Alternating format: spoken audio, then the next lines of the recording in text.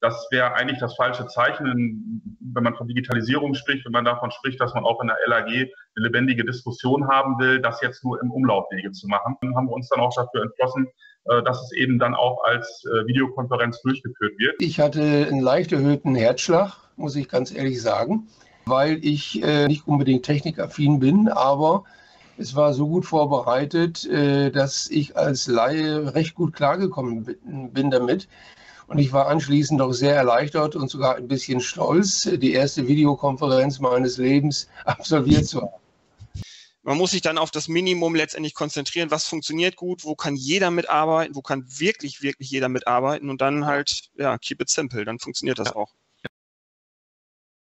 Ich war persönlich auch sehr überrascht, äh, wie gut das geklappt hat, also wie diszipliniert auch alle Teilnehmer waren, also Mikrofon aus, aufzeigen, im Prinzip vielleicht mancher sogar eher sich noch getraut hat, sich zu Wort zu melden in diesem Format als face-to-face -face vor 30 Personen. Also das ist, glaube ich, auch vielleicht so eine gewisse ja, Lehre daraus, dass es vielleicht manchmal auch sogar die Angst nehmen kann, sich in eine Diskussion einzubringen.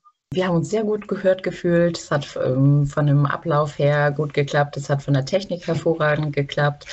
Ähm, auch die hinterher die Fragen. Ähm, es hat wunderbar funktioniert, also mit Handzeichen und äh, das wurde ja auch moderiert, sodass das vielleicht sogar auch ein Vorteil gegenüber von anderen Sitzungen sein konnte, weil man dann auch nochmal ähm, abgeben konnte ähm, an, an die Mitantragsteller. Was mir auch tatsächlich aufgefallen ist, eben halt ähm, diese Abstimmung mit Beschlussfähigkeit am Anfang, ähm, dass man da vielleicht eben ein separates Abstimmungstool halt hat, äh, um natürlich sofort zu erfassen, ähm, sind denn alle Leute tatsächlich auch ähm, ja, äh, jetzt aufgezeichnet worden und, und erfasst worden, die ähm, entsprechend dafür, dagegen oder sich enthalten.